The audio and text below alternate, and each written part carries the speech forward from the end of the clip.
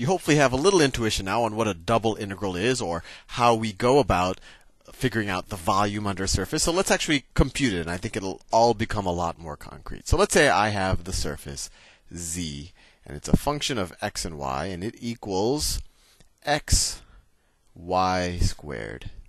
It's a surface in three dimensional space, and I want to know the volume between this surface and the xy plane, and the domain in the xy plane that I care about is x is greater than or equal to 0 and less than or equal to 2, and y is greater than or equal to 0 and less than or equal to 1. And let's see what that looks like, just so we have a good visualization of it. So I graphed it here, and we can rotate around. This is z equals xy squared. And this is the bounding box, right? x goes from 0 to 2, y goes from 0 to 1. So we literally want this, you could almost view it the volume, well, not almost, exactly view it as the volume under this surface, between this surface, the top surface, and the xy plane. And I'll rotate it around so you can get a, a little bit better sense of the actual volume. Let me rotate it. Now I should use the mouse for this. So it's this space underneath here. You could it's like a it's like a makeshift shelter or something, and I can rotate it a little bit. So you can see whatever's under this, between the two surfaces, that's the volume. Whoops, I flipped it. There you go. So that's the volume that we care about. Let, us figure out how to do it, and we'll try to uh, gather a little bit of the intuition as we go along. So I'm going to draw a not as impressive version of that graph, but I think it'll it'll do the job for now. Let me draw my axes. That's my x-axis. That's my y-axis. And that's my z-axis. X, Y, Z. And we're going, X is going from 0 to 2. Let's say that's 2. Y is going from 0 to 1. And we're taking, so we're taking the, the volume above this rectangle in the xy plane. And then the surface, I'm going to try my best to draw it. I'll draw it in a different color. I'm looking at the uh, picture. At this end, it looks something like this. It looks something like this. And then it has a straight line. Let me see if I can draw this surface. Going down like that. And then, if I want was really good, I could shade it. It looks something like this. If I were to shade it, surface looks something like that. And this right here is above this, right? Like this is the, the, the top, the bottom left corner. You could almost view it. So this is, let me say, the yellow is the top of the surface. That's the top of the surface, and then this is under the surface, right? So we care about this volume underneath here. Let me draw the, let me show you what the actual surface. So this volume underneath here, right? I think you get the idea. So how do we do that? Well, in the last uh, in the last example, we said, well, let's pick an arbitrary y, and for that y, let's figure out the area under the curve. So if we if we fix some y, if we fix some y, when you actually do the problem, you don't have to think of it think about it in this much detail, but I want to give you the intuition. So if we pick just an arbitrary y here, so on that y, we could think of it if, if we have a fixed y, then the function of x and y, you can almost view it as a, as a, a function of just x for that given y. And so we're, we're kind of figuring out the value of this, of the area under this curve. Right? You could this should you should view this as kind of an up down curve for a given y. So if we know a y, we can we can figure out then for example, if y was 5, this function would become z equals 25x, right? And then that's easy to figure out the the value of the curve under. So we'll make the value under the curve as a function of y. We'll pretend like it's just a constant. So let's do that. So if we have a dx, that's our change in x. And then our height of each of our rectangles is going to be a function is going to be z. The height is z, which is a function of x and y. So we can take the integral.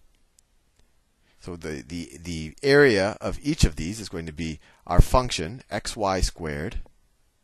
I'll do it here because I'll run out of space. x y squared times the width, which is dx. And if we want the area of this slice for given y, we just integrate along the x-axis, right? We're going to integrate from x is equal to 0 to x is equal to 2. From x is equal to 0 to 2. Fair enough. Now, but we just don't want to figure out the area under under the curve at one slice for one particular y. We want to figure out the entire area of the curve. So what we do is we say, okay, fine. The area under of, of this under the curve, not the surface, under this curve for a particular y is this expression. Well, what if I gave it a little bit of depth? Right? If I multiplied this area times dy, then it would give me a little bit of depth, right? We'd, we'd kind of have a, a, a three dimensional slice of the volume that we care about. I know it's hard to imagine. Let me bring that here. So if I had a slice here, this is what we just figured out the area of a, of a slice, and then I'm multiplying it by dy to give it a little bit of depth. So you multiply it by dy to give it a little bit of depth. And then if we want the entire volume under the curve, we add all the dy's together, take the infinite sum of these infinitely small volumes, really now.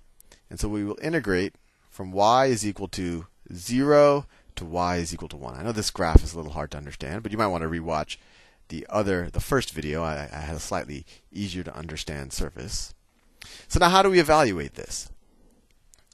Well, like we said, that we, we you evaluate from the inside and go outward. And it's it's almost like taking it's it's taking like a partial derivative in reverse. So we're taking the we're integrating here with respect to x. So we can treat y just like a constant, like it's like the number five or, or something like that. So it really doesn't change the integral. So what's the antiderivative of xy squared? Well, the antiderivative of xy squared, I want to make sure I'm color consistent. Well, the antiderivative of x is x to the 1 half, uh, sorry, x squared over 2. x squared over 2, and then y squared is just a constant, right? And then we don't have to worry about plus c since this is a definite integral. And we're going to evaluate that at 2 and 0. And then we still have the outside integral with respect to y. So once we figure that out, we're going to integrate it from 0 to 1 with respect to dy. Now what does this evaluate? We take we, we put a 2 in here. If you put a 2 in there, you get 2 squared over 2. 2 squared over 2. Well, that's just 4 over 2. So it's 2y squared.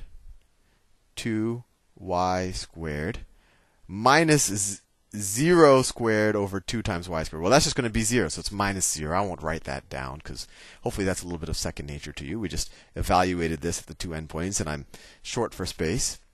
So this evaluated at 2y squared, and now we evaluate the outside integral. 0, 1, dy.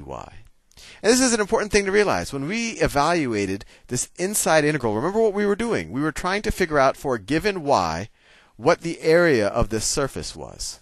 Well, not this surface, the area under the, the surface on this kind of for a given y, right? For a given y, that surface kind of turns into a curve. And we've tried to figure out the area under that curve in the traditional sense, right? So this is going to be a, a func this ended up being a function of y. And that makes sense because depending on which y we pick, we're going to get a different area here because because obviously depending on which y we pick, the area, kind of a wall, drops straight down, that area is going to change.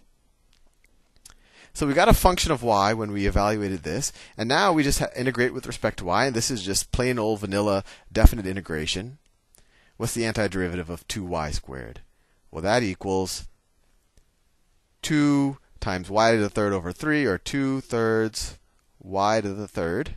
We're going to evaluate that at 1 and 0 which is equal to, let's see, y 1 to the third times 2 thirds, that's 2 thirds, minus 0 to thirds times 2 thirds. Well, that's just 0. So it equals 2 thirds. 2 thirds, if these were, if our units were meters, it would be 2 thirds meters cubed or cubic meters. But there you go. That's how you evaluate a double integral. There really isn't a new skill here. You just have to make sure to keep track of the variables, treat them constant when they need to be treated constant, and then treat them as a variable of integration when it's appropriate. Anyway, I will see you in the next video.